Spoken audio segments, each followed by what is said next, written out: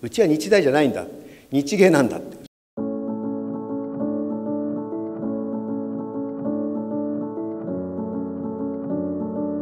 拍手でお迎えください。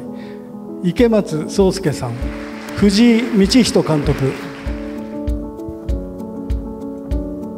日芸に通ってましてたまたまあのこういう、えー、素晴らしいプロジェクトにあの松島先生からあの誘われてですね。18年前ここでに入学して、えーと、なんだかんだまだ今も映像を続けております。芸術っていうのは答えの出ないもので答えの出ないから多分続けてるんだなっていう。どこで涙が出たかっていうと最後の芸術とはあなただ。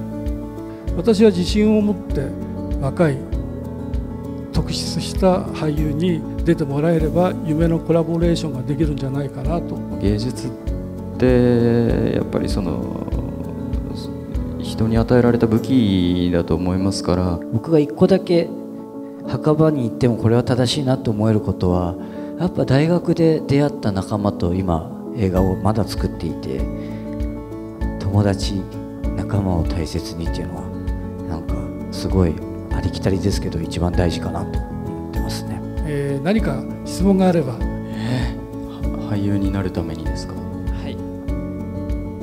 誰でもなれますよ。俳優は誰でもできます。誰でもできるし誰でもなれると思ってます。ただしその後どれぐらい続けていきたいかどういう表現をしていきたいか自分で、えー、自分と相談すること、まあ、本当限られた社会に出る前の最後の4年間だと思うのでもう好きに、えー、考えて悩んでいろいろトライしてみてほしいなと思いますね。池松壮介さんそして藤井道人監督もう一度大きな拍手でお送りいただきたいと思います。ありがとうございました。